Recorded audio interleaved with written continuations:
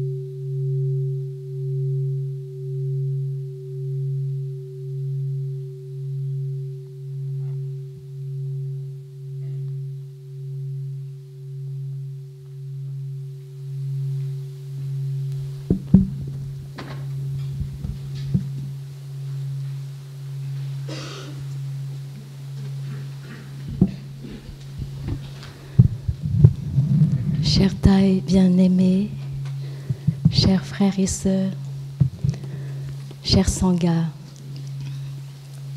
nous sommes le 13 avril, l'an 2023. Nous sommes au hameau du Haut, temple nuage du Dharma. C'est bon. Et Nuage du Dharma est aussi le nom du premier monastère au Vietnam où vivait Maître Tang Hoi. Et notre pratique ici a aussi son origine des enseignements de ce maître zen Tang Hoi.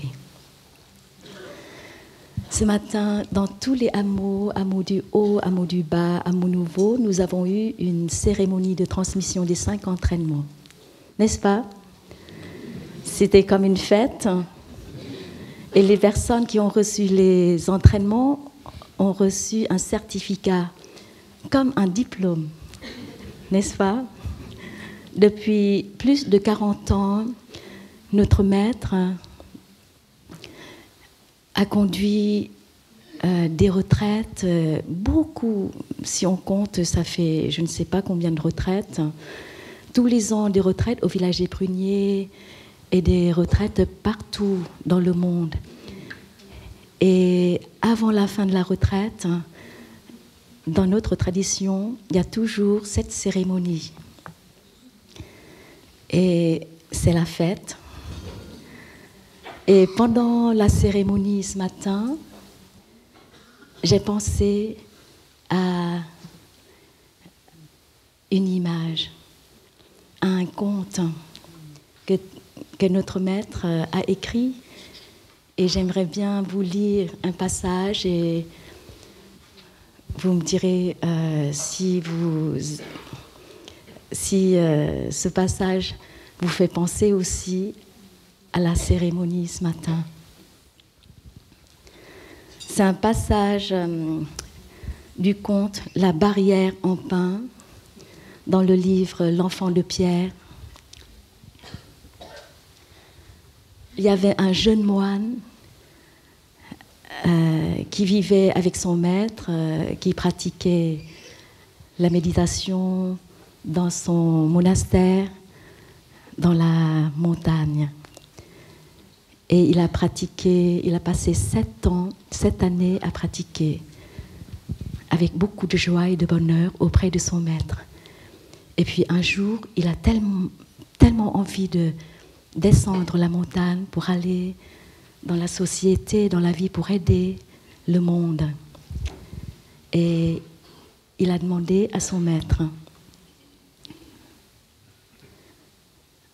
Et quand il a fait la demande à son maître, son maître l'a regardé un long moment dans les yeux sans dire un mot. Son visage exprimait de la gentillesse, mais il y avait aussi autre chose, comme de l'amour. J'inspire ce son merveilleux me ramène à ma vraie demeure. J'expire, je souris.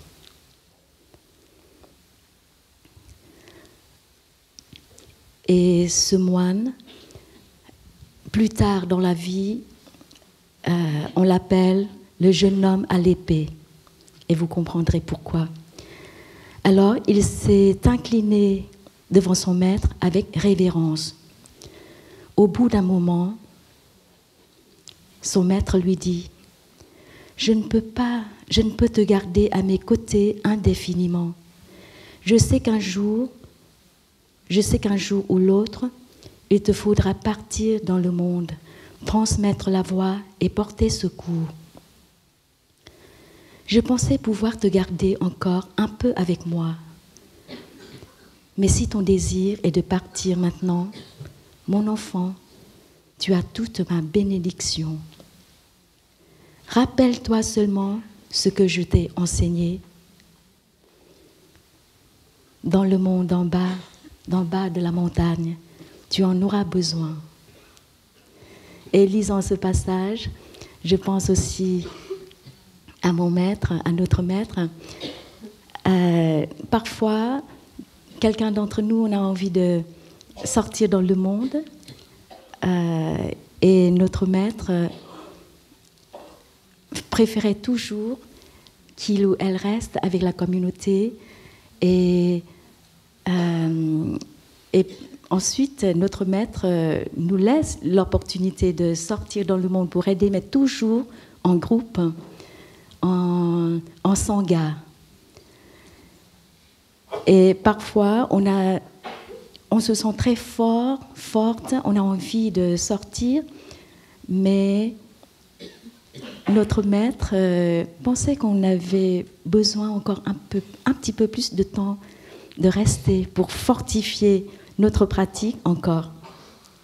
Puis son maître lui dit ce qu'il devait chercher, ce qu'il devait éviter et ce qu'il devait changer. Il posa sa douce main sur l'épaule de son disciple et dit encore, Souviens-toi de ne jamais rien faire qui puisse causer de la souffrance à toi-même ou aux autres, maintenant et dans le futur. Va sans peur dans la direction qui mène à l'éveil parfait. Et n'oublie pas les critères qui servent à mesurer le bonheur et la souffrance la libération et l'illusion. Sans eux, tu trahirais la voie et tu n'aiderais personne. Voici ma plus précieuse épée. son maître lui a donné un épée, une épée, lui a transmis une épée. Euh, notre maître nous, a transmis une lampe à chaque personne. Euh, mais ici, dans ce conte, ce maître lui a transmis une épée. Et l'épée, pourquoi une épée?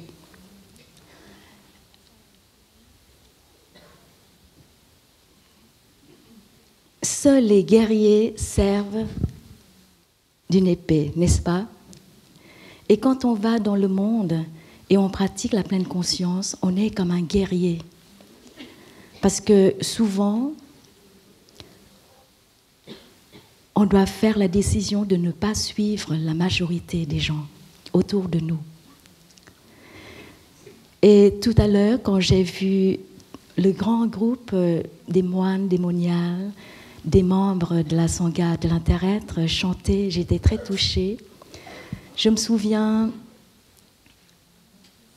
je me souviens euh, c'est Muriel qui m'a, rappelé en 1994, elle était dans une retraite au hameau du Haut. Il y avait cinq Français, cinq retraitants français qui participaient à la retraite.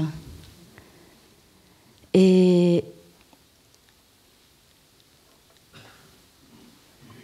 à partir de 1999, nous avons commencé une retraite francophone tous les ans. Et la première retraite francophone en 1919, il y, avait, euh, il y avait un peu plus de 200 retraitants. Et à cette époque, on se disait, euh, les moines, les moniales, oh, qu'est-ce qu'il y a beaucoup de retraitants français, plus de 200. Et le premier membre français de la Sangha de l'interêtre, qui a reçu les 14 entraînements, c'était en 1994. Après presque 30 ans, après la naissance de l'ordre de l'interêtre, presque 30 ans après le premier membre français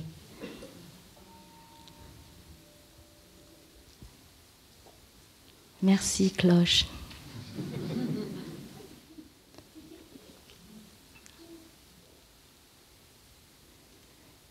Et presque 30 ans après, aujourd'hui, nous avons 199 membres.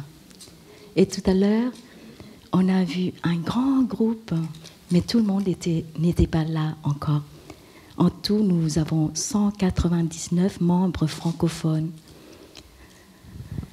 Et en 1994, Muriel, nos amis, nos premiers amis français, françaises comme Muriel, Marc et d'autres, euh, Michel, Valzer, euh, les premiers Français, ils étaient vraiment les guerriers quand ils retournaient chez eux dans la société. Ils étaient les seuls en France à pratiquer la pleine conscience.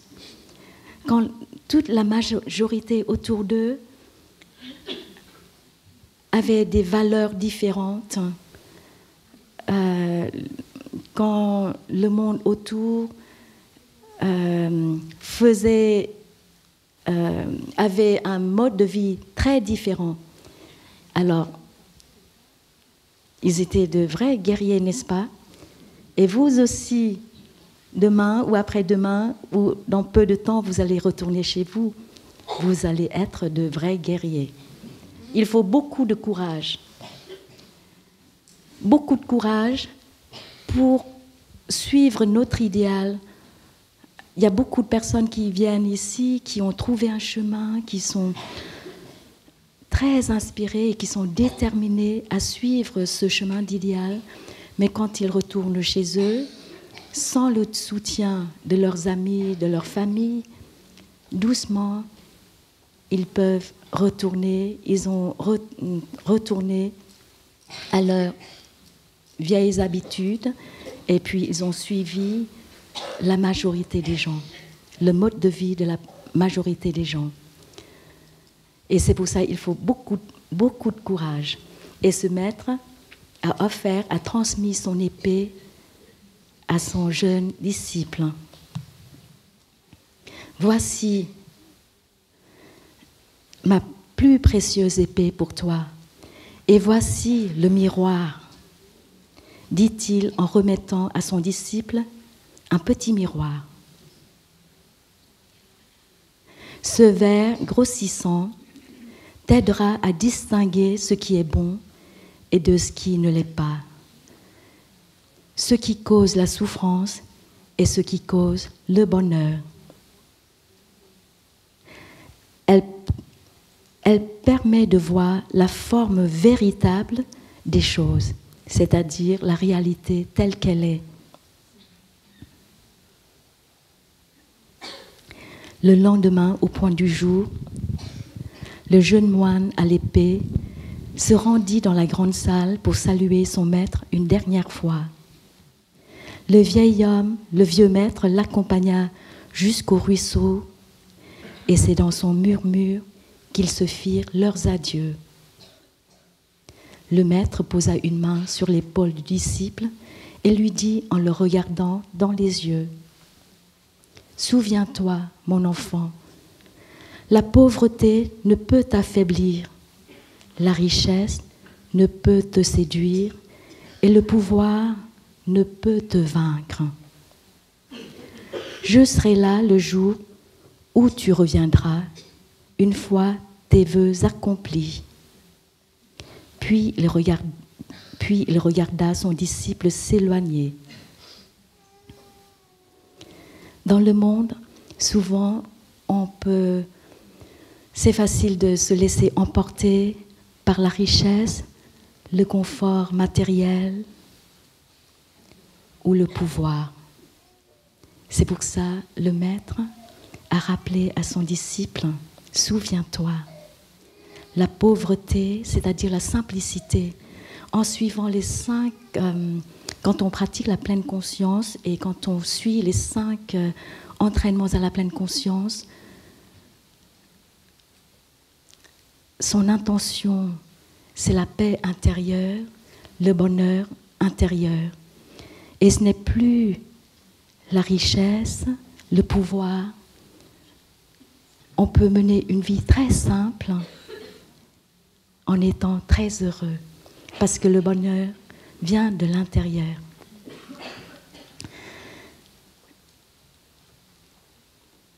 Est-ce que vous avez vu pourquoi j'ai pensé à cette histoire ce matin dans la cérémonie?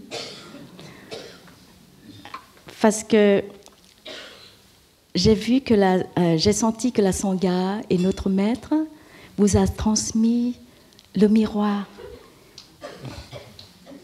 C'est ça le miroir. Et l'épée. Et euh, je voudrais partager avec vous ce matin encore deux points sur ces cinq entraînements.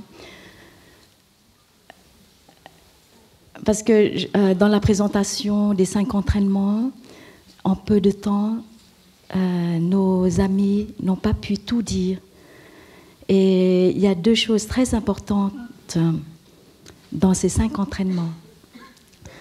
Euh, et pour moi,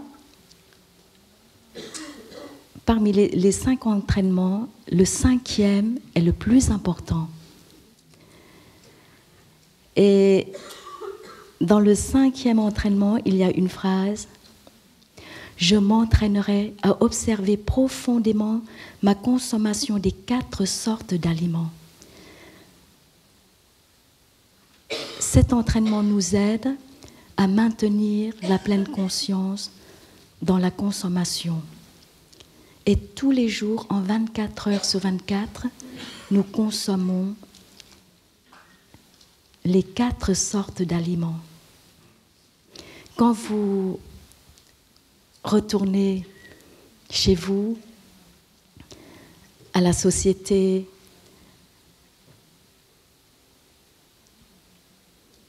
vous allez retourner à une conscience collective. Et cette conscience collective est faite de la conscience individuelle. Et la conscience individuelle est nourrie par ce que vous consommez avec vos yeux, avec vos oreilles, avec votre langue, votre corps, votre mental.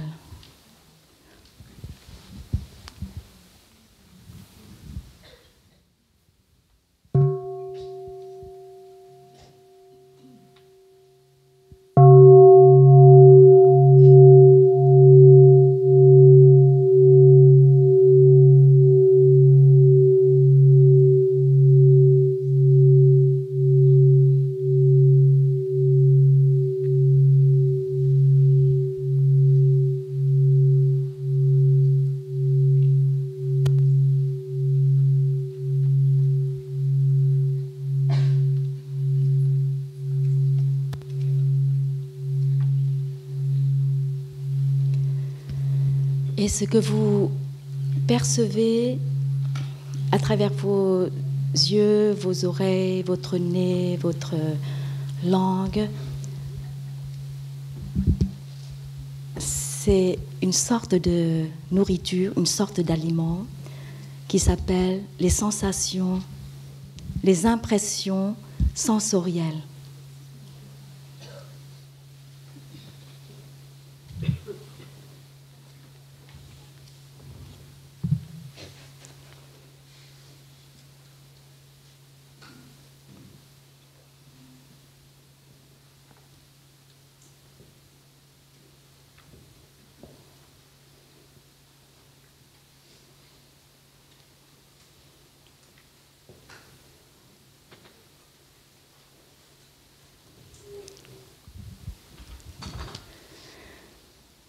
Je me souviens quand je m'occupais des enfants dans le programme pour les enfants, une fille nous a dit J'adore rester au village des pruniers parce qu'ici mes parents sont très gentils.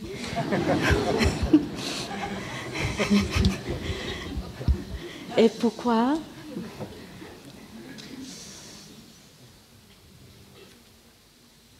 Je vous redessine le cercle que mon maître dessinait toujours pour nous expliquer comment ça fonctionne, notre conscience, notre esprit. Euh,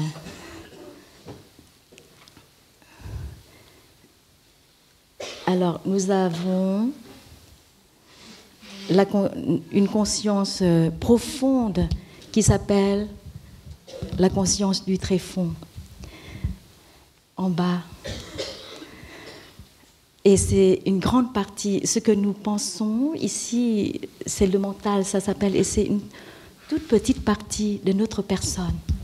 Alors, nous avons le mental, ici.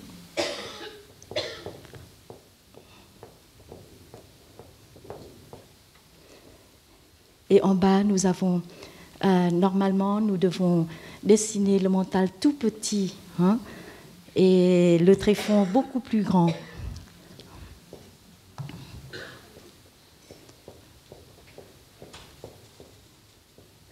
Et dans la conscience du tréfonds, nous avons toutes sortes de graines. La graine de la violence, de la colère, aussi bien que les graines de l'amour, de la gentillesse, de la tolérance, du pardon, nous avons tout. Et quand les parents viennent au village des pruniers, Ils sont entourés d'amis de pratique, ils sont entourés des personnes qui pratiquent la pleine conscience, qui vont dans la même direction sur cet idéal.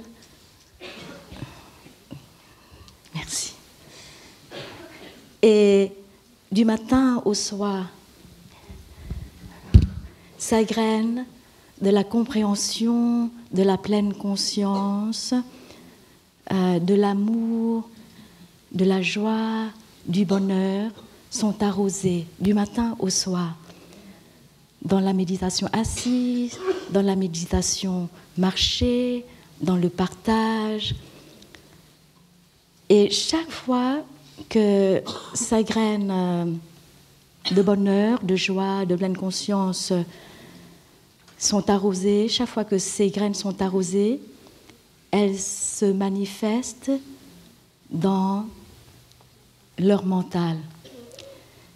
Elles se manifestent dans le mental comme une sensation de joie, de bien-être, une sensation d'amour.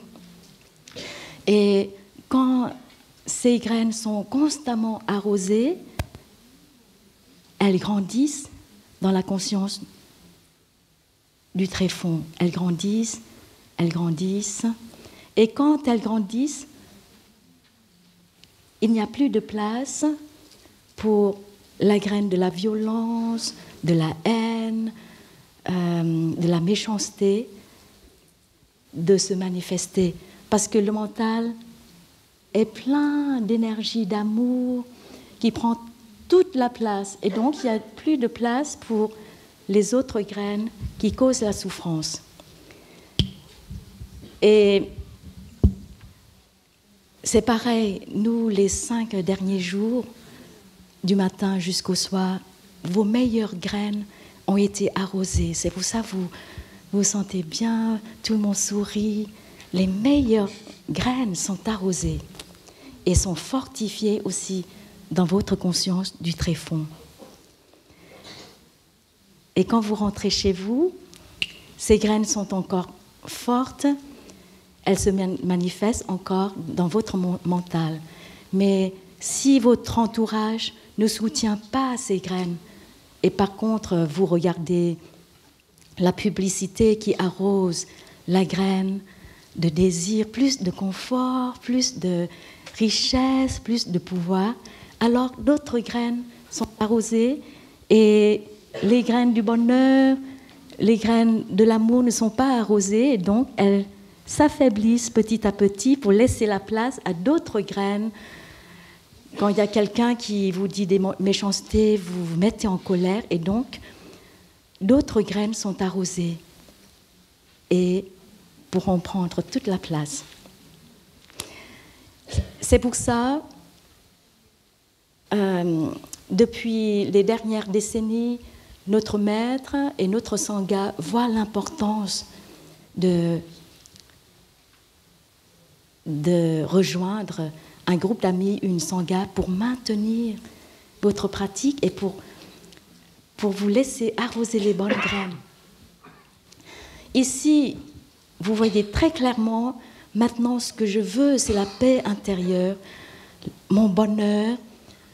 Je n'ai pas besoin d'autre chose. Je peux vivre une vie très simple. L'importance, c'est la paix, le bonheur intérieur. Vous avez une volition.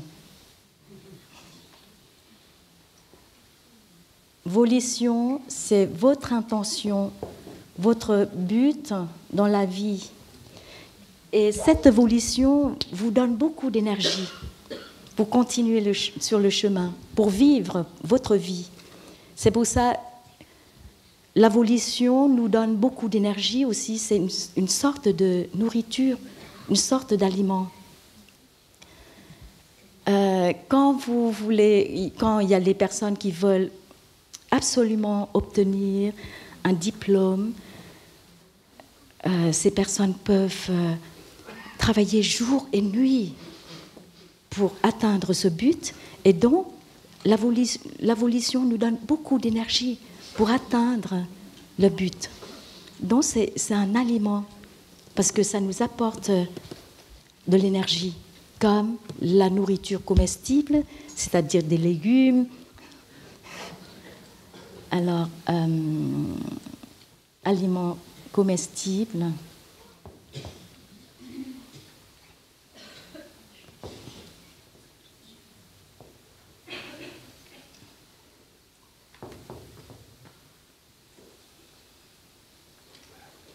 C'est la première sorte d'aliments, les aliments comestibles, et puis deuxième sorte, les impressions sensorielles. Troisième sorte, c'est la volition. Et quatrième sorte, c'est la conscience. La conscience, ici, c'est la conscience individuelle aussi bien que la conscience collective. Parce que les deux sont euh, intersons, sont entremêlés. Et euh,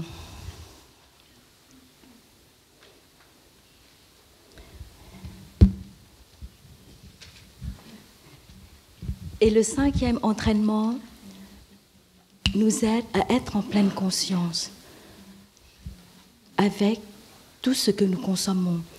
Et quand on a cette liste, vous, vous voyez que les aliments comestibles font une toute petite partie, parce que nous mangeons trois repas par jour.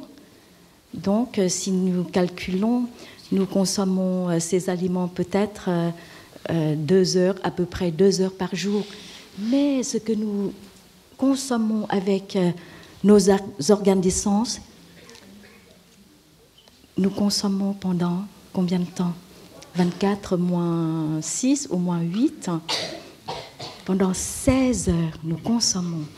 Et même quand nous ne sortons pas de notre chambre, nous continuons à consommer par nos pensées. Chaque fois que nous pensons, nous avons des idées, nous pensons à quelque chose, nous sommes en train de consommer aussi avec notre mental. notre mental consomme les pensées. Nous nourrissons notre mental avec nos propres pensées.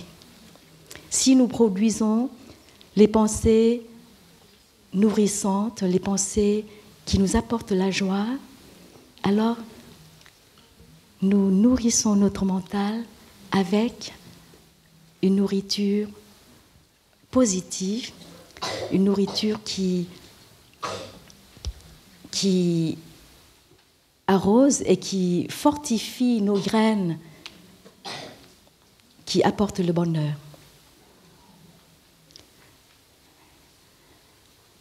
Et puis la conscience, la conscience est liée aussi aux impressions sensorielles.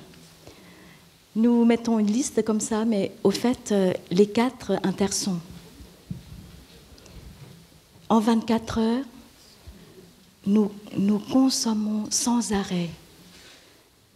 Et la nuit, quand nous dormons, même si nous ne pensons pas, nous continuons à consommer avec notre, euh, conscience profonde, notre conscience du tréfonds. Par exemple, à la fin de la journée, à la fin de la soirée, vous allez au lit avec les pensées noires. Vous êtes très fâché avec vos enfants. Et vous allongez dans votre lit avec cette colère, et puis vous dormez, vous tombez quand même dans le sommeil, et vous ne pensez plus, mais votre conscience du tréfonds continue à travailler, et avant de tomber dans le sommeil, vous avez arrosé les graines de colère dans la conscience du tréfonds, et même quand vous tombez dans le sommeil, vous ne pensez plus, et la conscience du tréfonds digère ce que vous avez nourri. Et c'est pour ça, de temps en temps, vous avez un rêve. Parce que pendant votre sommeil, la conscience du tréfonds monte dans le mental et vous avez des rêves. Si la conscience tréfonds a beaucoup de souffrance, parfois vous avez des cauchemars, ça monte dans le mental.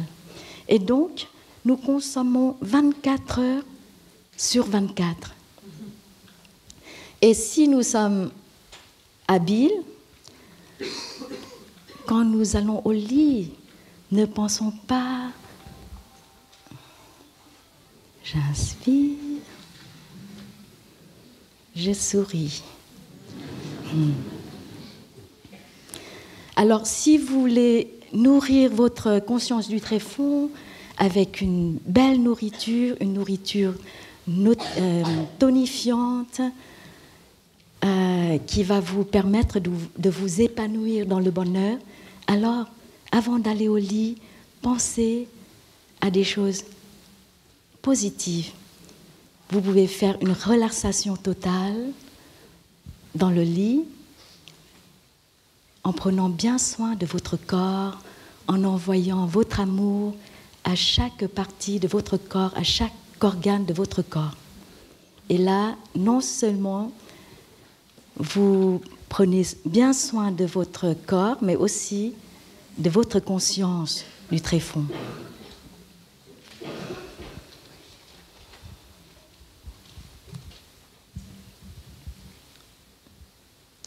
Et tout ce que nous avons fait pendant cette retraite, nous avons pris toutes les occasions, toutes les activités, tout ce que nous avons fait pendant cinq jours, six jours ou sept jours. Euh, tout ce que nous avons fait, c'est juste arroser les bonnes graines. Nous avons pratiqué la pleine conscience en mangeant. Nous avons récité, nous avons contemplé avant de manger pour générer l'énergie de gratitude, de joie, de bonheur pendant tous les repas. Nous avons arrosé nos bonnes graines, la graine de pleine conscience, de concentration, de relaxation. Chaque fois que nous écoutons un son de cloche, dans le partage, nous nous entraînons à écouter profondément, sans juger, nous entraînons à partager du cœur et pas, euh, faire des jugements ou des choses comme ça. Nous avons toujours arrosé nos bonnes graines.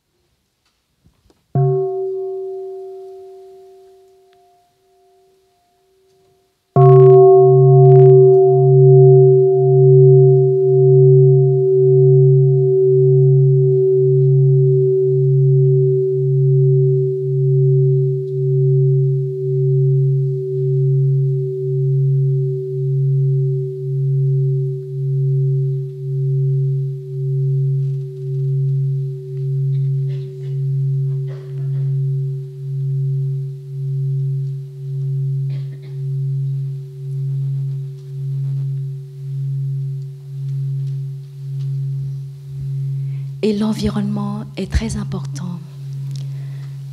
Dans le Sutra du Bonheur,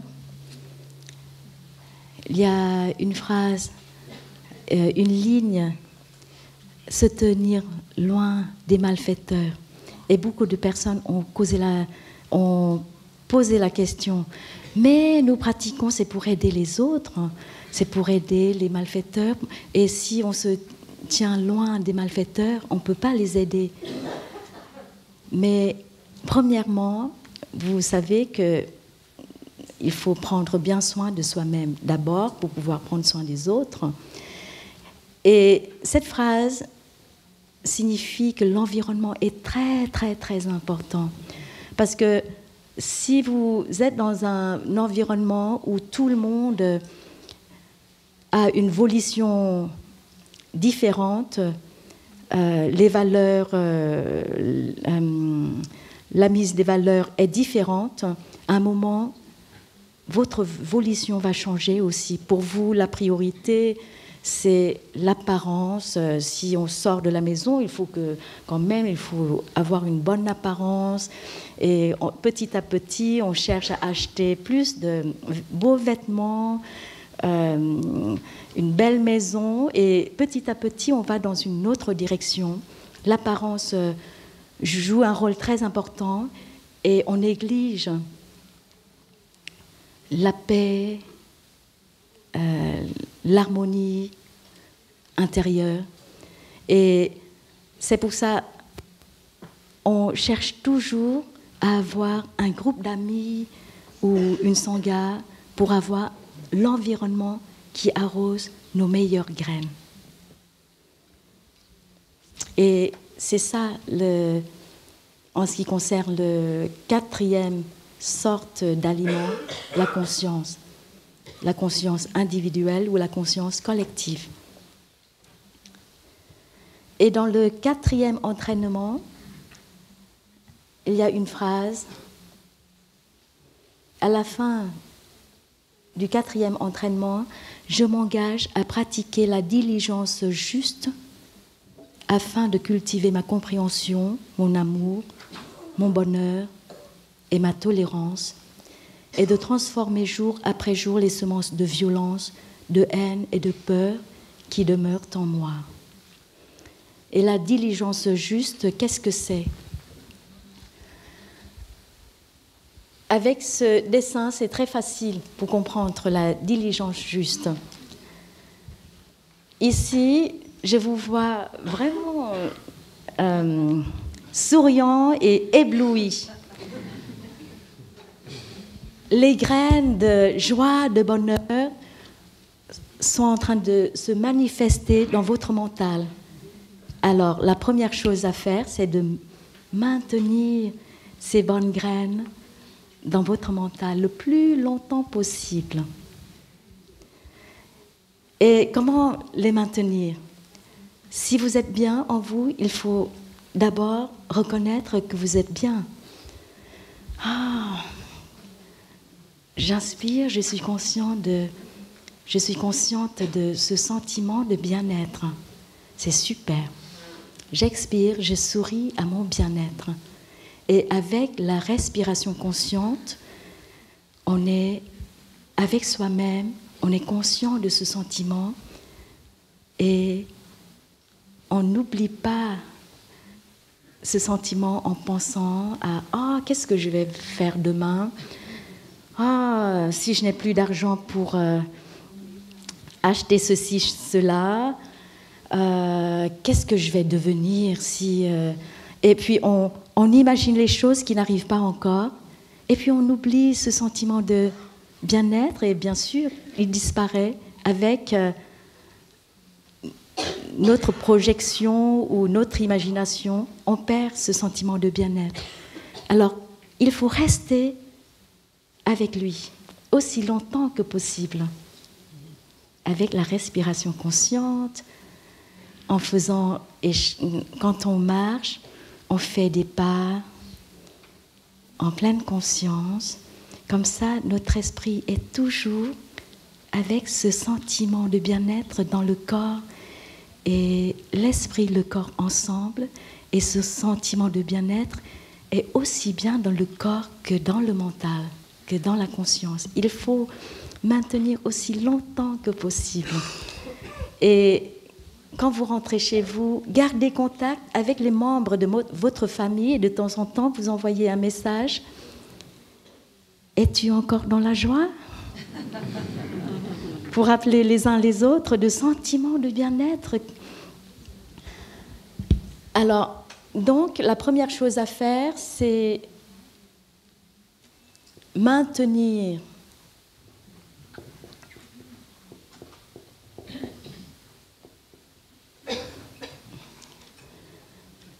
maintenir ce qui est bien, ce qui est positif, ce qui vous apporte le bonheur. Maintenir le bonheur.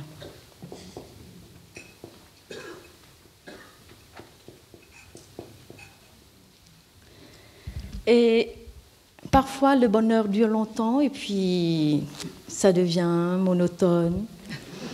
On le prend pour acquis et on oublie. Par exemple, nous tous, nous avons un sentiment extraordinaire, nous n'avons pas mal aux dents. Mais il faut avoir mal aux dents pour, reconnaître ce sentiment d'extraordinaire de ne pas avoir mal aux dents. N'est-ce pas?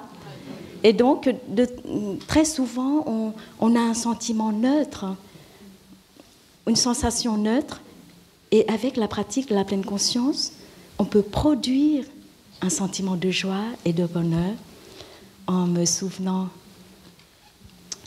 Ah, je peux marcher sans avoir mal aux jambes.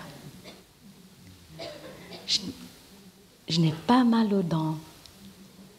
Je peux vous voir clairement avec mes yeux en bonne santé. Et avec la pleine conscience, je me souviens de tout ce que j'ai là et tout ce que j'ai autour de moi, et tout de suite, je peux donner naissance, je peux produire un sentiment de joie et de bonheur. C'est-à-dire, cette graine de joie ne se manifeste pas encore, et maintenant vous-même, vous l'arrosez pour l'inviter de se manifester dans votre mental. Alors, arrosez vous-même les bonnes graines.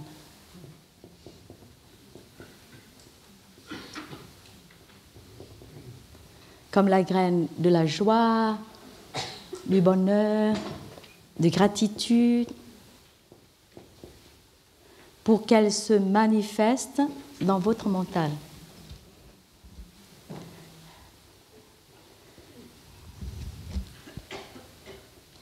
Et quand vous arrosez et vous invitez les graines de bonheur dans votre mental, il n'y a plus de place pour la graine de la colère, de la souffrance.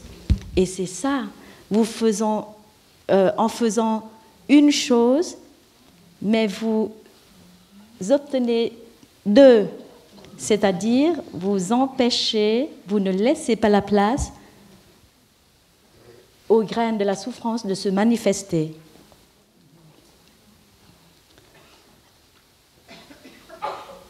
Euh, ne pas laisser la place ou bien ne pas inviter les graines de la souffrance de se manifester en vous.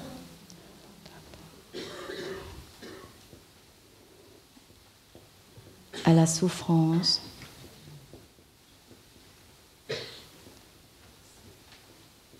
Quand vous faites bien, euh, la deuxième chose, c'est-à-dire quand vous arrosez bien vos bonnes graines, en même temps, vous n'arrosez pas les graines de la souffrance en vous.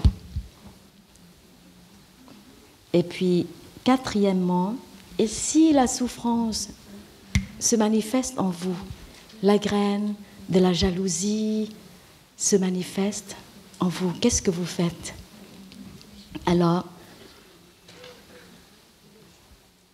quatrièmement, c'est reconnaître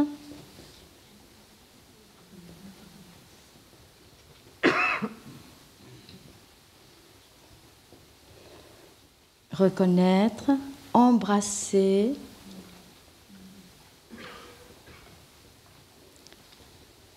et transformer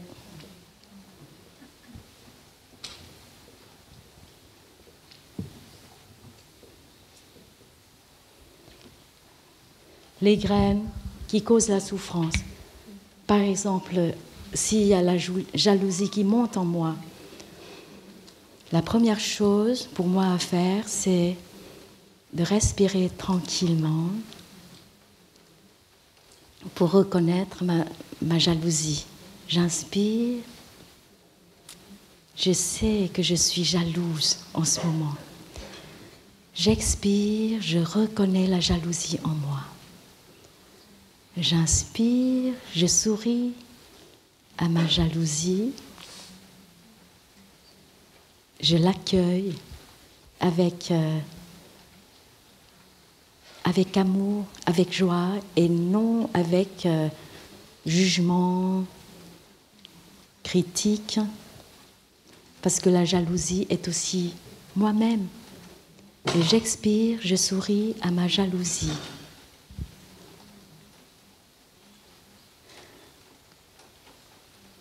Pourquoi les, les bébés et les enfants, quand ils sont jaloux, on les trouve toujours très mignons? N'est-ce pas? Les bébés, les enfants, quoi qu'ils fassent, on les trouve mignons. Vous êtes d'accord avec moi? Qu'ils crient, qu'ils sont jaloux, qu'ils vous tapent. On les trouve très mignons. Mais nous aussi, nous sommes les enfants, nous, les bébés. Il y a un bébé, un enfant en nous qui est très mignon. À la fin de la fin de chaque retraite, notre dernière méditation guidée est toujours sur l'enfant à l'âge de 5 ans. On essaie de toucher l'enfant à l'âge de 5 ans chez notre père, chez notre mère et aussi en nous-mêmes. Pour, vraiment toucher la vulnérabilité, la fragilité de l'enfant à l'âge de 5 ans. Et quand on arrive à toucher cette vulnérabilité chez notre père, chez notre mère ou en nous-mêmes, tout à coup nous avons la compréhension et l'amour pour pouvoir embrasser nous-mêmes ou embrasser la personne.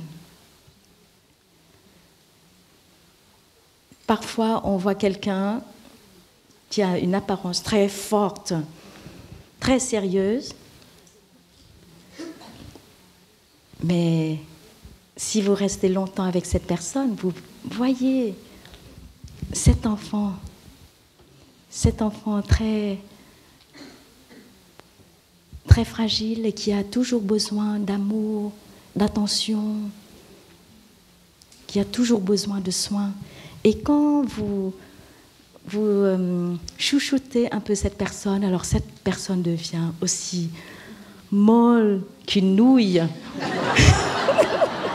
qu'un morceau de pâte ou de nouille. C'est ce que les Vietnamiens disent.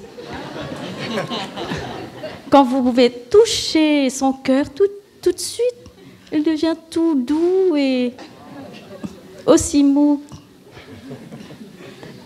qu'un morceau de, nouilles vietnamiennes blanches. Est-ce que vous avez mangé dans votre amour C'est très mou. Hein.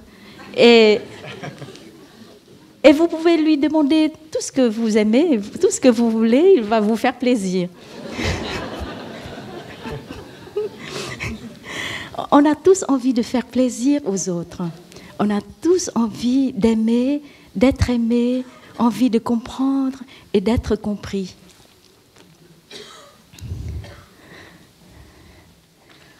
Alors, je retourne au quatrième point. je reconnais ma jalousie, je l'accueille, je lui souris, je la reconnais, et c'est avec amour et compréhension, avec tolérance que je l'embrasse, avec mon énergie de la pleine conscience, avec l'acceptance. J'inspire, je sais qu'elle est là, et on peut respirer avec son ventre aussi. J'inspire, je sens que mon ventre se soulève, j'expire, je sens mon ventre s'abaisser. Je fais attention seulement au mouvement de mon ventre.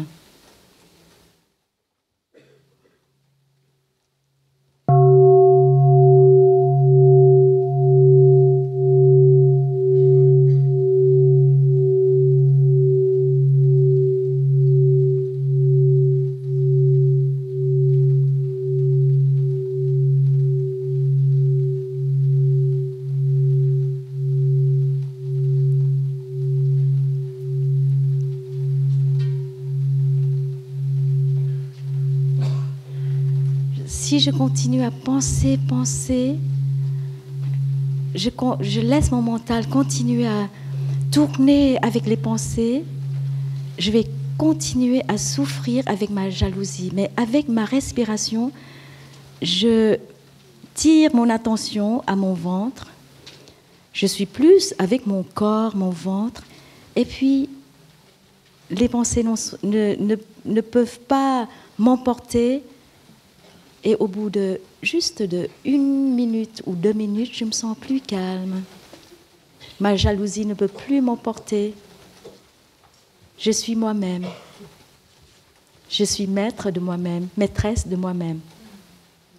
Et c'est comme ça qu'on embrasse sa jalousie ou sa colère.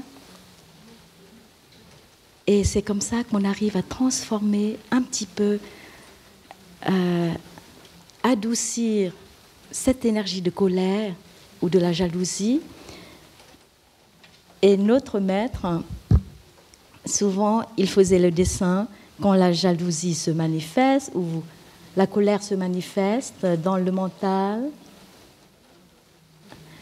Et avec la respiration consciente, nous touchons la graine de la pleine conscience et nous invitons la pleine conscience de monter dans le mental, de se manifester dans notre mental pour embrasser cette énergie de la colère.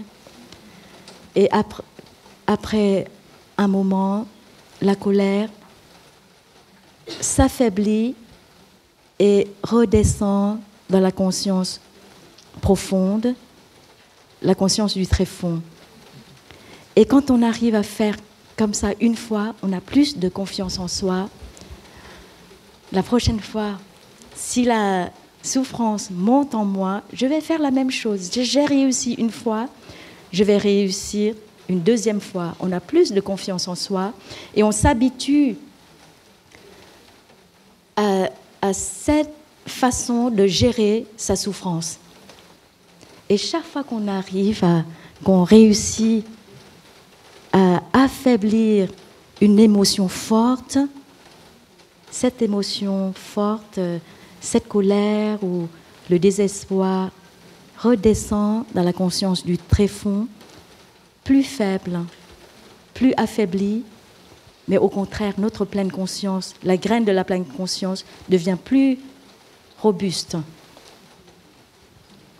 Donc, c'est ça la pratique de la diligence juste dans le quatrième entraînement.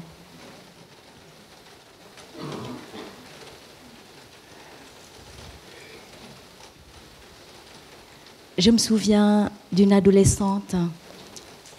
Elle est venue dans un de nos monastères. Elle est venue avec son copain. Elle était toujours avec son copain. Et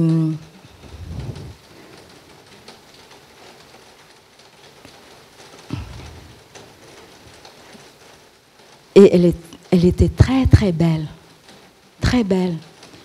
elle était adolescente, mais elle était très, euh, euh, très grandie comme une jeune femme et aussi très euh, séduisante, très sexy. Elle a passé une retraite et puis une deuxième et après elle a reçu euh, les cinq entraînements. Et plusieurs années passées, elle est revenue et elle est revenue et les sœurs lui ont demandé de ses nouvelles. Elle, elle a dit qu'elle euh, va commencer, euh, elle ira à l'école, à une école pour devenir, pour étudier et devenir infirmière. Et les sœurs étaient très contentes pour elle et nous lui, avons dit que oui, essaie de poursuivre tes études. Et elle était très très très contente d'avoir eu son bac. Elle ne vivait pas en France, mais elle vivait aux États-Unis.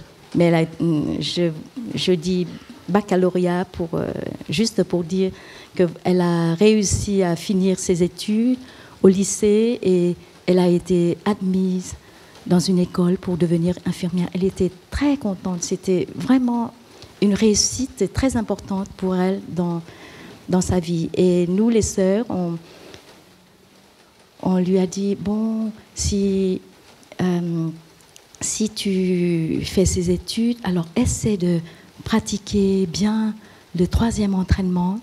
Parce que si au cours de tes études et tu deviens enceinte, tu ne pourras pas atteindre ton but. Et on a dit ça comme ça. Et puis tout à coup, elle a, beaucoup pleuré. Elle a beaucoup pleuré et elle nous a raconté son histoire que quand elle, avait 9 ans, elle était abusée sexuellement. Et quand elle est devenue adolescente, elle a, euh, ses parents ont divorcé et elle a, été abusée sexuellement par le nouveau mari de, sa mère. Et quand elle, a, euh, quand elle avait à peu près 15 ans, elle a déménagé pour vivre avec ses, ses amis. Et puis encore une fois, elle a été abusée par le papa de, de son ami. Et elle a beaucoup souffert, mais en même temps, euh, elle, elle a eu une habitude d'être toujours euh, avec un homme, parce que elle sentait l'insécurité, elle, elle avait besoin d'une protection, elle avait soif d'amour, d'amour véritable, elle avait soif de la protection. Et elle a reçu euh, les cinq entraînements. Et à cette époque, elle prenait aussi la drogue avec ses amis. Et avec les cinq entraînements, elle a commencé tout doucement à s'éloigner de ses amis, de chercher à fréquenter d'autres amis. Et elle nous a raconté que ces cinq entraînements, euh, elle les lisait très régulièrement. Chaque fois quand elle était dans la confusion, quand elle ne savait pas quoi faire, elle ressortait et re relisait ces cinq entraînements. Et premièrement, ça l'a calmée, et puis ça lui a montré une direction à suivre. Et petit à petit, elle a arrêté la drogue, elle a euh, mis plus d'énergie dans ses études et c'est pour ça qu'elle a pu finir, euh, elle, a, elle, a, eu son bac et pour elle c'était une réussite très importante. Elle était tellement contente et heureuse d'avoir son bac. Elle a complètement changé de direction. Et elle avait euh, ces cinq entraînements. À cette époque, on utilisait encore les hum, iPods. Et chaque fois qu'elle euh, avait besoin, elle, relisait ces cinq entraînements dans ses iPods. Et j'ai entendu plein, je connais plein de personnes comme ça, les adolescents, les jeunes, qui ont changé complètement leur vie grâce à ces cinq entraînements. Et c'est exactement ce que notre maître voulait, offrir au monde. Et ce matin, euh, au Hameau Nouveau, aux dernières minutes, il y avait trois, quatre personnes qui étaient hésitantes, qui ne savaient pas si j'allais les prendre ou non. Mais ce matin, avec Énergie La Sangha, une énergie collective très forte, très puissante, ces personnes ont pris la décision, bon, je les prends maintenant, aujourd'hui, et puis ces personnes se sont levées et ont dit tout haut leur nom pour rejoindre tout le groupe. Et si vous n'avez pas encore reçu ces cinq entraînements, vous pouvez toujours les mettre en pratique quand vous rentrez chez vous. C'est l'étoile polaire. Et c'est un entraînement. Chaque fois qu'on tombe, ou chaque fois qu'on s'égare, on peut reprendre la direction et on continue dans la bonne direction. Chaque fois qu'on tombe, on peut se relever et continuer son chemin. C'est un entraînement. C'est pour ça qu'il n'y a pas de culpabilité si on n'arrive pas, si on n'est pas parfait euh, dans, cette, euh, dans, dans cet entraînement. C'est un entraînement et c'est pour ça on ne cherche pas la perfection. On améliore sur le chemin, tout simplement. Et on voit clairement que si ça nous apporte plus de bonheur ou plus de souffrance, le bonheur et la souffrance, le bonheur véritable. Et dans ce conte, le maître a parlé, a utilisé la souffrance et le bonheur comme critère pour savoir si on est sur la bonne direction ou non. Si vous pratiquez la pleine conscience, et dans votre famille, il y a toujours la disharmonie, la souffrance. Alors, focalisez sur votre famille pour pratiquer. Parce qu'il y en a qui passent tout leur temps dans la sangha et ils négligent leur famille et les maris ou les femmes ne sont pas très contents, les enfants ne sont pas contents. Alors, on prend soin d'abord de sa famille et puis de sa sangha. Je me souviens, ma sœur, euh, euh, ma sœur euh, génétique, euh, une fois, Ta lui a dit si tu pratiques bien, alors on voit comment c'est ta relation avec ton mari. Alors, ce sont les critères. Hmm. Si vous souffrez encore avec votre partenaire, avec vos enfants, dans votre famille, ou bien il y a plus de bonheur dans votre famille.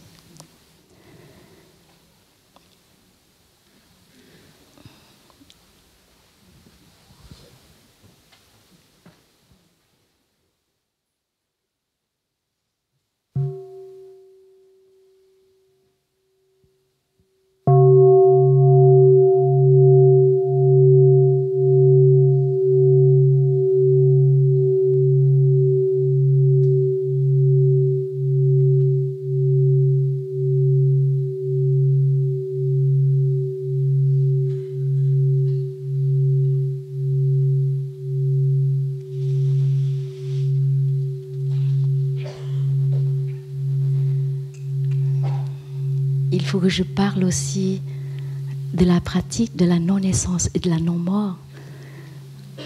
Ma sœur rigole parce qu'il est déjà 11h moins 5. Mais je ne peux pas, euh, je dois en parler parce que dans toutes les retraites, le dernier enseignement, notre maître nous enseignait toujours la non-naissance et la non-mort. Et, et j'ai beaucoup de gratitude euh, pour notre maître parce que dans les autres euh, traditions euh, bouddhistes ou bien dans d'autres monastères, on considère la non-naissance et la non-mort comme une pratique très, très haute pour les maîtres zen, pas pour nous. Mais Tai a enseigné ça même aux enfants. Et je comprends, et je comprends pourquoi, parce que euh, l'été dernier, j'étais avec les adolescentes. Et une adolescente a beaucoup, beaucoup pleuré, beaucoup pleuré. Elle a dit qu'elle a tellement souffert quand son chien est mort. Et jamais elle n'a dit à personne, parce que quand elle dit à ses parents ou euh, les membres de la famille, ils vont dire, mais, mais, mais ce n'est pas si important, pourquoi tu souffres autant? Et c'est pour ça qu'elle gardait cette souffrance dans son cœur, elle n'osait pas en parler. Euh, il y a d'autres choses plus importantes. Euh, si les adultes disent comme ça, elle, elle n'osait pas en parler. Et dans le groupe, euh, ici, elle a beaucoup pleuré. Elle, pour la première fois, elle a dit, elle, a exprimé sa souffrance comme ça. Et c'est pour ça, Tai enseignait toujours la non-naissance et la non-mort, même aux enfants. Et dans cette retraite, dans ma famille de partage, euh, euh, un membre de, notre famille a partagé aussi que euh, quand, elle avait, quand elle avait 11 ans, son frère avait 15 ans. Et son frère était très brillant, un élève euh, très brillant, qui faisait du piano, qui écrivait des poèmes. Il était très intelligent. Et un jour, il a eu un accident de voiture, il a été hospitalisé, et c'est là qu'on a découvert qu'il avait un cancer. Et son cancer était une exception, euh, très rare. Et depuis, la famille était est vraiment tombée dans le stress, la souffrance, la tristesse. Et il a quand même vécu cinq ans, mm, avec tous les traitements, et malgré tous les traitements de chimiothérapie, tous les traitements possibles, euh, il est décédé. Et notre amie euh, Iris, elle a beaucoup souffert et en tant qu'adolescente, elle ne savait pas comment gérer sa souffrance et tout ce qu'elle pouvait euh, faire pour exprimer sa souffrance, c'est de crier sur sa maman, de dire les, les phrases pas gentilles. Et sa maman est venue au village des Pruniers et elle a appris, elle a écouté l'enseignement sur taille, sur la non-naissance et la non-mort. Et Iris, dans le partage euh, dans notre famille, elle a dit que le village des pruniers a sauvé ma maman. Et sa mère est retournée chez elle, a pris bien soin d'Iris et l'a amenée ici. Et elle a senti euh, sa blessure guérie en elle aussi bien qu'en sa maman. Et je lui ai demandé, hier, je lui ai demandé si je pouvais euh, partager cette histoire euh, à tout le monde. Et puis ce matin, elle a téléphoné à sa maman pour demander. Sa maman a été très contente. Elle a dit oui. Et, et sa maman me permet aussi de dire leur nom euh, pour qu'ils sentent la connexion avec toute la Sangha.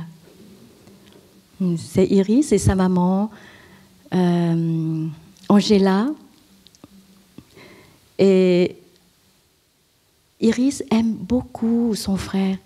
Et elle, m'a montré à son cou, elle a un tatouage du nom de son frère, Mathia, derrière. Et ce matin, elle m'a montré, euh, ça c'est le, le prénom de mon frère. Hmm. Et je me souviens, euh, aux enfants, Thaï a utilisé les images très simples pour nous faire comprendre la non-naissance et la non-mort. Par exemple, l'image d'un nuage. Quand on voit un très beau nuage dans le ciel, dans le ciel bleu, on aime tellement ce nuage. Mais hier et ce matin, il a plu. Ce nuage est devenu la pluie et il a arrosé toute la végétation, il a mm, arrosé la terre-mère. Et si on ne voit plus le nuage et on pleure, alors les fleurs, la terre-mère va nous dire, mais non, le nuage est toujours là, simplement, il a changé de forme. Et hum, un jour, on mange le nuage sans le savoir. Le nuage nous nourrit. Et si on regarde profondément, on voit toujours, on voit la présence euh, du nuage pour toujours, parce qu'il se transforme tout simplement. Il se transforme en rivière, en fleurs, et puis un jour, il retourne à sa forme de nuage.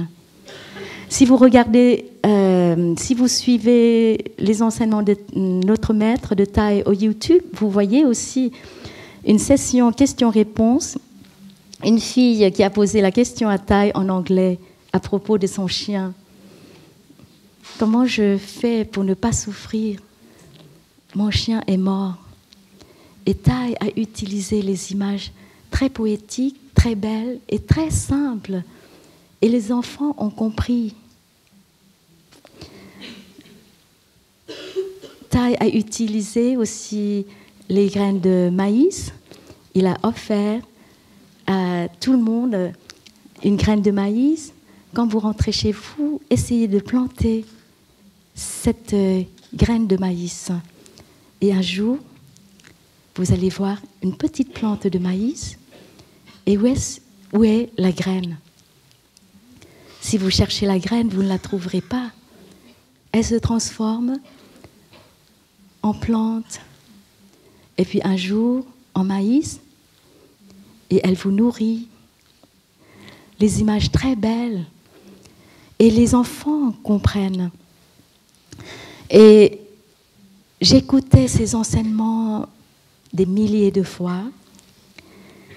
Et, mais je n'osais jamais dire que j'ai compris la non-naissance et la non-mort. Parce que je me suis dit, ah, peut-être je connais la théorie, mais peut-être je ne touche pas encore euh, à cette euh, vérité ultime. Il faut attendre quand quelque chose se passe et puis on verra si on touche vraiment cette vérité ultime. Jusqu'au jour quand Tai est, est décédé, avec tous les frères et sœurs, avec tous les étudiants de Tai dans le monde entier, nous avons fait les funérailles de Tai, nous avons pratiqué ensemble pendant toute une semaine. Et là, j'ai compris que pendant des années, Tai, dans ses enseignements, il a touché notre graine de la vision profonde de la non-naissance et la non-mort, même si nous sommes feignants, paresseux, nous, ne contemplons pas, nous ne méditons pas sur la non-naissance et la non-mort, mais taille n'arrête, ne cessez pas d'arroser cette graine en nous. Et cette graine, s'est développé, s'est fortifié en nous. Et quand Tai s'est transformé en nuage. Et j'ai vu tous mes frères et sœurs et moi-même, on avait plein d'énergie et de force intérieure pour continuer son chemin avec dignité. Et beaucoup de maîtres, quand les maîtres se sont transformés en nuages, il y a les centres de pratique qui, qui ont été fermés pendant un certain temps. Il y a un grand changement dans la communauté. Mais au village des Pruniers, euh, vraiment, nous, pendant des années, il nous a entraînés et, nous, euh, et même quand Tai n'enseignait plus, nous avons continué toutes les retraites comme si rien ne s'est passé. Et, euh, et pendant la pandémie, le village des Pruniers était un des premiers centres de pratique qui continuait tout de suite avec les retraites en ligne. Quand beaucoup de centres pratiques étaient paralysés par la pandémie, et nous, on a continué, continué des retraites en ligne. Il n'y a, a eu jamais d'interruption. C'est un courant qui ne cesse de couler. Et chacun, chacune de vous qui est là, vous faites partie de ce courant et vous êtes la continuation de cette lignée de notre Maître, que vous soyez chrétien, que vous soyez, juif. Les cinq entraînements, c'est bien marqué que c'est une éthique pour le monde c'est vrai qu'ils ils ont l'origine, son origine dans le bouddhisme, mais notre maître a voulu qu'ils soient non religieux, non sectaires. Comme ça, pour les non-bouddhistes, tout le monde peut mettre en pratique. Et nous avons beaucoup de gratitude pour vous tous. Rien que le fait que vous soyez là, nous sommes en train de maintenir euh,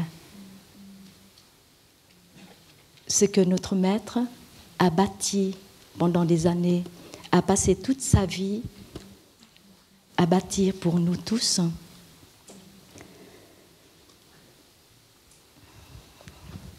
Et comme une, méditation guidée, notre maître a répété, a répété dans chaque retraite sur la sagesse, sur la vision profonde de la non-naissance de la non-mort. Et ce n'est pas l'endoctrination, mais c'est une méditation guidée sur cette vérité ultime. Et cette vérité est très scientifique, ce n'est pas une croyance aveugle. Mais c'est très scientifique. Nous tous, quand nous, quand nous allons au collège, nous avons déjà appris la chimie, nous avons appris la loi de la, de la conservation de la matière et la loi de la conservation de l'énergie. rien ne se perd, rien ne se crée, tout se transforme, n'est-ce pas? C'est très scientifique. Et euh, ce n'est pas l'endoctrination, c'est simplement une méditation guidée que notre maître nous a offert et sans savoir, euh, nous avons été imprégnés dans cette sagesse, dans cette vision profonde. Et le jour quand ça arrive, nous avons compris que nous avons pu toucher cette vérité ultime de la non-naissance et la non-mort. Et notre maître continue en chacun, chacune de nous. Et je me souviens, euh, dans une retraite à Hong Kong, les Hongkongais étaient très tristes. C'était le dernier jour. Ils étaient très tristes. Et notre maître, Tai, leur disait, chaque fois que vous faites une respiration consciente, chaque fois que vous faites un pas en pleine conscience, je suis là avec vous.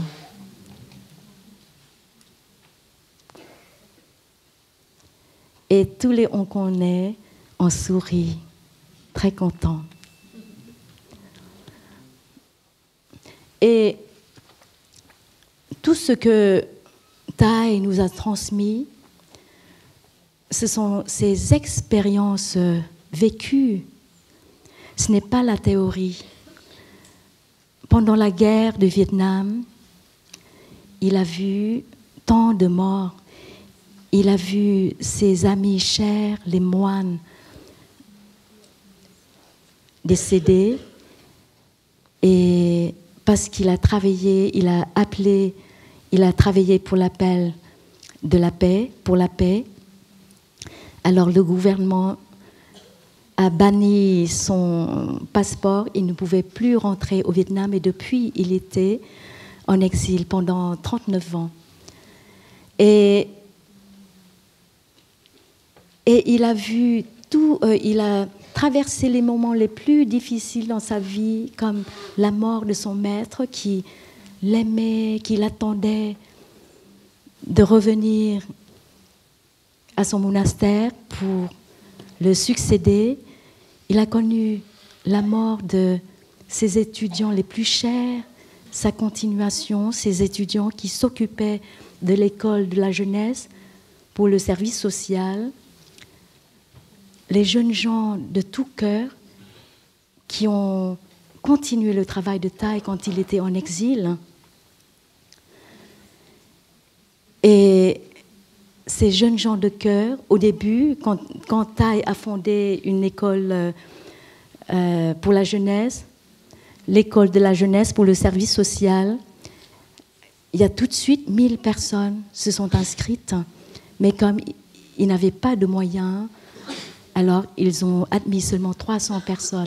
Mais au bout de un an, deux ans, 300 personnes sont devenues 10 000 personnes. Beaucoup de volontaires, beaucoup de jeunes gens qui ont rejoint à, la mission de Thaï. Et pendant euh, pendant ce travail, Tai a intégré la pratique de la pleine conscience à lui-même, à ses étudiants, pour qu'ils puissent continuer jusqu'au bout, sans être épuisés, sans être emportés par le désespoir. Et cette pratique, tout ce qu'il nous a enseigné, ça vient de ses expériences vécues ça vient euh, des vies sacrifiées. Et quand on, quand on transmet la théorie, euh, on transmet aussi les mots, mais quand on arrive à vivre l'expérience, ça devient très clair. Et c'est pour ça Thaï nous a transmis ces expériences avec les mots les plus simples, parce que ces expériences font partie de lui-même, de sa vie. Et quand ça vient de la vie, c'est très clair, très évident, c'est très simple. Ce n'est pas la théorie. Et nous avons beaucoup de chance, nous avons reçu toute cette crème des, expériences d'une vie de pratique. Maintenant, nous n'allons qu'à nous en réjouir. Et nous avons plus de chance que Muriel ou Marc, qui étaient les seuls guerriers dans la société. Aujourd'hui, nous sommes tellement nombreux. En 1984, euh, pardon, 1994, je pense qu'il y avait juste deux ou trois, j'ai demandé à Muriel, deux ou trois sangas en France, petites sangas. Et j'ai demandé à Muriel aujourd'hui, a combien de sangas en France? Elle dit, mais je ne sais pas, c'est impossible de savoir. Il y en a tellement. 70 70 inscrites. Mais il y a plein de sanghas qui ne se sont pas inscrites. Oui. Euh, et où que vous soyez, chez vous, il y a une sangha près de chez vous, en France, en Belgique, en Suisse. Alors aujourd'hui, je suis très bavarde. hein. Il est déjà 11h15. Alors euh, maintenant, pour terminer, je vais vous offrir une chanson. Et s'il vous plaît, sœur euh, Chung Đức, sœur Gina, sœur Không, sœur Tuệ euh, Hà, nous, nous allons vous chanter une chanson que peut-être la plupart de vous, vous ne connaissez pas. Mais une chanson qu'on chantait pendant les premières années au village.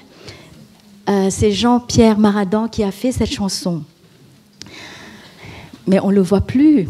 Il était très amoureux avec une euh, jeune femme vietnamienne vivant aux États-Unis. Il était très amoureux pendant trois années, mais cette jeune femme n'a pas répondu à son amour et depuis, on ne le voit plus. Il ne revient plus au village.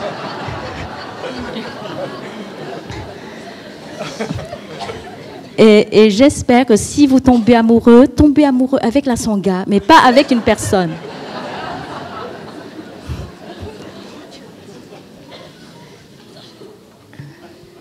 Euh, frère Daigny aussi connaît cette chanson. Euh, Est-ce que vous avez euh, une feuille? Vous pouvez rester où vous êtes et puis on chante. euh, vous chantez fort, hein?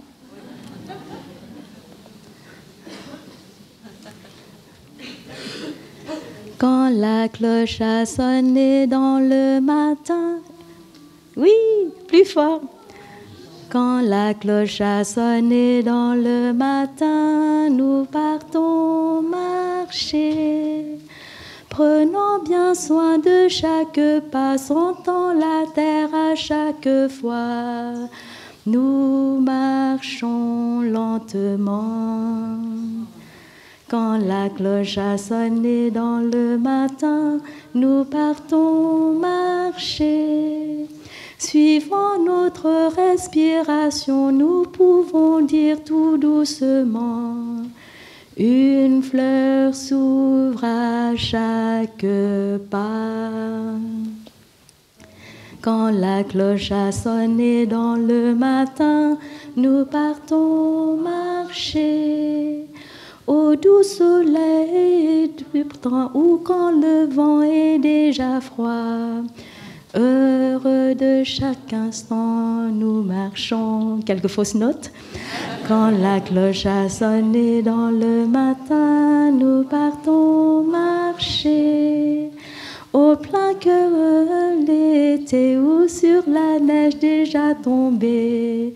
Dans le matin, nous partons marcher. Je laisse les paroles ici pour, euh, si vous voulez, ces paroles. Il faut qu'on ch- rechante cette chanson. Et qui sait, Jean-Pierre reviendra.